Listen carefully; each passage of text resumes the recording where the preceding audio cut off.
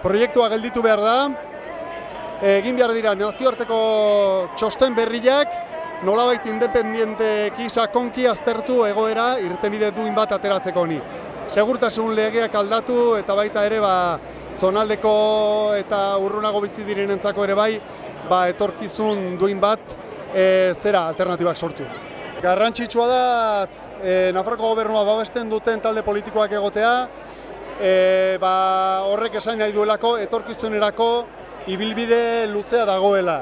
Oain arte landu dugu e, eta luzerako landuko dugu beraiekin batera ere bai.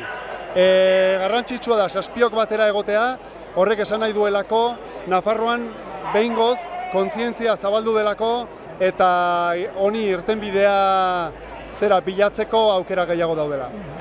Ezin dela betetu, ezin dela betetu.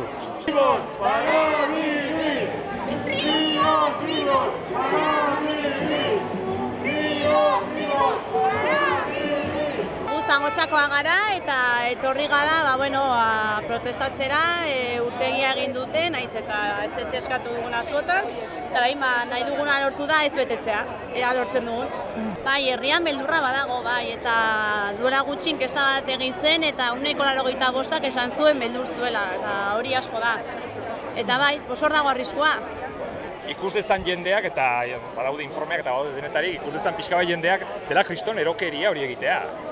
Bai, beldurra pasatzea, arriskuan ikustea han biz, bizi lagun guztiakan arriskuan e, jartzen dituzten e, aukera hori ezertarako ez dena, eta gainera, pues, bueno, e, uste dut, e, orai, e, iesan egiten ari direna da, dela askoz handiagoko astokeria.